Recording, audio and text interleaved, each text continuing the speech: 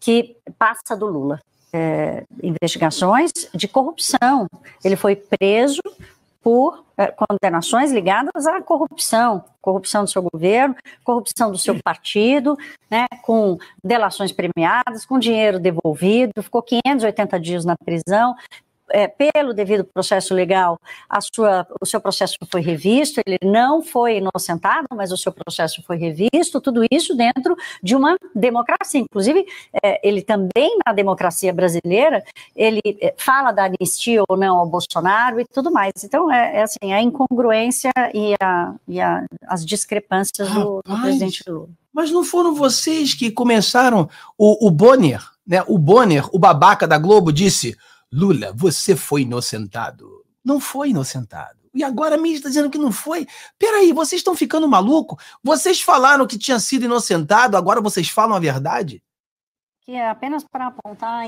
Olha aqui, preste atenção. Mas assim, a, a, a, minha participação aqui é apenas para apontar a incoerência, né? Uma incoerência é, absurda que hoje beirou a misoginia, né? No caso do, do, da fala do presidente Lula, se referir a uma candidata que é uma mulher que foi banida do processo sem nenhuma explicação, e aí ele vira e fala assim, ah, em vez de ficar chorando, quer dizer, é um desrespeito a, a toda a simbologia do que é a Marina Corina, e não importa que é a Marina Corina, importa é a democracia que não existe na Venezuela, essa é a contradição, a contradição de dizer assim, olha, desde que seja um candidato que não diga o que quiser, porque afinal de contas, numa democracia é, relativa, como o presidente Lula já disse, que democracia é relativo, né? É um valor relativo. Então, assim, na democracia relativa da Venezuela, qualquer um pode ser candidato, desde que não diga exatamente o que quer fazer, né? Especialmente se quiser ir contra a ditadura que está é, na Venezuela há 20 anos.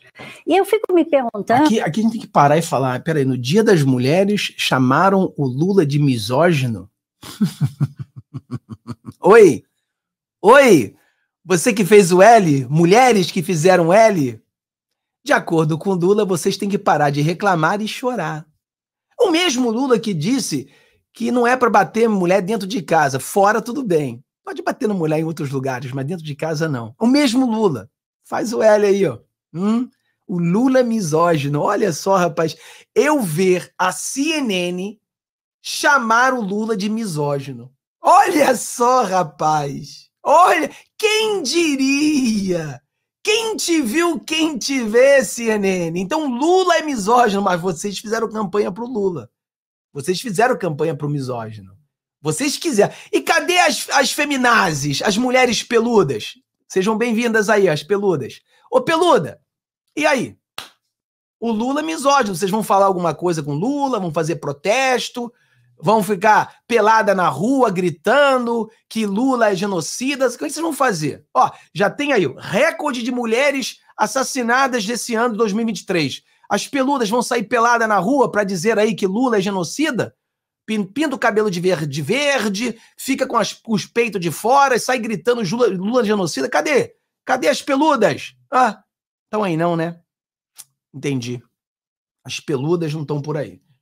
Genocida. Olha mais o que ela falou. Não terminou, não, hein? Você vai ficar chocado. Se não ouviu ainda, você vai ficar chocado. Assim, é, é o, que o, o presidente Lula está colecionando da posição dele, né, de líder, é, que ele gostaria de ser, o Lorival já disse que ele já perdeu essa posição, que ele já perdeu a credibilidade. Todos os debates que a gente está fazendo aqui com relação às críticas é, a Israel é, é, passam por isso. Assim, qual, o, o que, que ele acumula politicamente, quanto isso custa ao Brasil, né, lembrando que o, a, a, revista The Economist deixou de eleger o Brasil como país do ano em 2023 por causa da aliança de Lula com Maduro. Então, assim, a aliança de Lula com Maduro é dizer nas entrelinhas que, olha, quem sabe um candidato que não diga o que quer nessa democracia relativa, fala para uma candidata mulher, ah, tá chorando por quê? Então, eu, eu, eu acho que é, é lamentável, é uma, um roteiro de incoerências e que, e que gera um custo político da política externa brasileira que passa do Lula. Olha isso, escuta, é, escuta isso. De corrupção. Ele foi preso por é, condenações ligadas à corrupção, corrupção do seu governo, corrupção do seu partido, né, com delações premiadas, com dinheiro devolvido, ficou 580 dias na prisão, é, pelo devido processo legal, a sua, o seu processo foi revisto, ele não foi inocentado, mas o seu processo foi revisto, tudo isso dentro de uma democracia. Inclusive, é, ele também, na democracia brasileira, ele é, fala da anistia ou não ao Bolsonaro e tudo mais. Então, é, é assim, a incongruência e, a, e a, as discrepâncias do, do Peraí, pessoal. Lula. Pessoal, vale a pena ouvir de novo. O que, que ela falou aqui? Eu não escutei de novo. Fala, senhorinha, fala de novo aí como é que é o negócio. Ah, fala aí. 2023 por causa da aliança de Lula com Maduro. Então, assim, a aliança de Lula com Maduro, é dizer nas entrelinhas que, olha, quem sabe um candidato que não diga o que quer nessa democracia relativa, fala para uma candidata mulher, ah, tá chorando por quê? Então, eu, eu, eu acho que é, é lamentável, é uma, um roteiro de incoerências e que, e que gera um custo político da política externa brasileira que passa do Lula é, investigações de corrupção. Ele foi preso por é, condenações ligadas à corrupção, corrupção do seu governo, corrupção do seu partido, né, com delações premiadas, com dinheiro devolvido, ficou 580 dias na prisão, é, pelo devido processo legal, a sua, o seu processo foi revisto, ele não foi inocentado, mas o seu processo foi revisto, tudo isso dentro de uma democracia. Inclusive, é, ele também, na democracia brasileira, ele é, fala da anistia ou não ao Bolsonaro e tudo mais. Então, é, é assim, a incongruência e, a, e a, as discrepâncias do, do, presidente Lula. Mas não foram vocês que começaram, o, o Bonner, né, o Bonner, o babaca da Globo, disse Lula, você foi inocentado. Não foi inocentado. E agora a mídia está dizendo que não foi. Peraí, vocês estão ficando maluco? Vocês falaram que tinha sido inocentado, agora vocês falam a verdade? Cara, a mídia chegou a dizer que Lula é misógino e está dizendo que Lula não foi inocentado. A grande mídia dizendo com todas as letras que Lula não foi inocentado. Olha só esse vídeo, pessoal. Em Goiânia, numa reunião com centenas de motoristas de aplicativos, só para você dar uma olhada, olha só. Tá todo mundo aí, ó. Centenas, centenas de motoristas de aplicativos. Por quê? Ué, se vai ter um projeto de lei que fala sobre a vida deles, eu vim aqui para escutar o que essas pessoas têm a dizer. Afinal de contas, não tem opinião mais importante que a opinião do motorista de aplicativo, não é certo? Perguntei para eles e vou perguntar agora de novo, vamos ver? Galera, uma pergunta bem simples. Os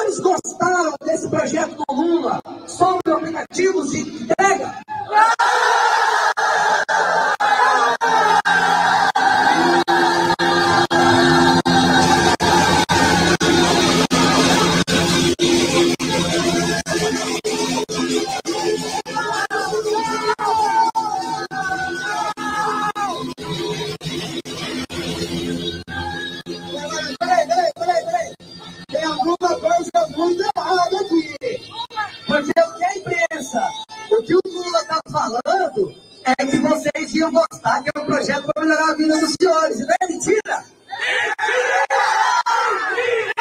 Mentira! Mentira! Mentira! Mentira! Mentira!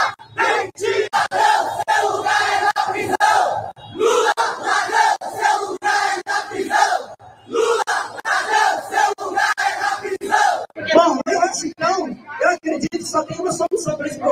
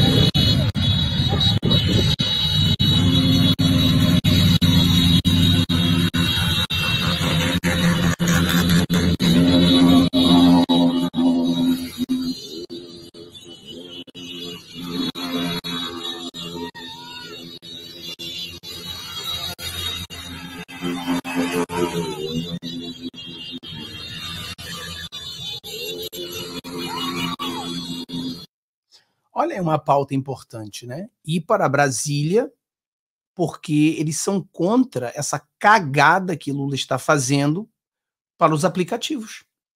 Olha aí mais uma ótima ida às ruas. Sensacional. Sensacional. Precisamos tomar as ruas. E essas são as pautas que une todos. Não é uma pauta bolsonarista. Você reparou? É uma pauta das pessoas que não concordam com esse idiota funcional desse governo de querer ferrar com os motoristas de aplicativos, etc e tal. Olha aí, uma pauta sensacional. Então eu acho que isso aí é muito bom, é muito bom mesmo. Temos que continuar nas ruas, temos que continuar nessa briga. É isso que a gente tem que continuar a fazer.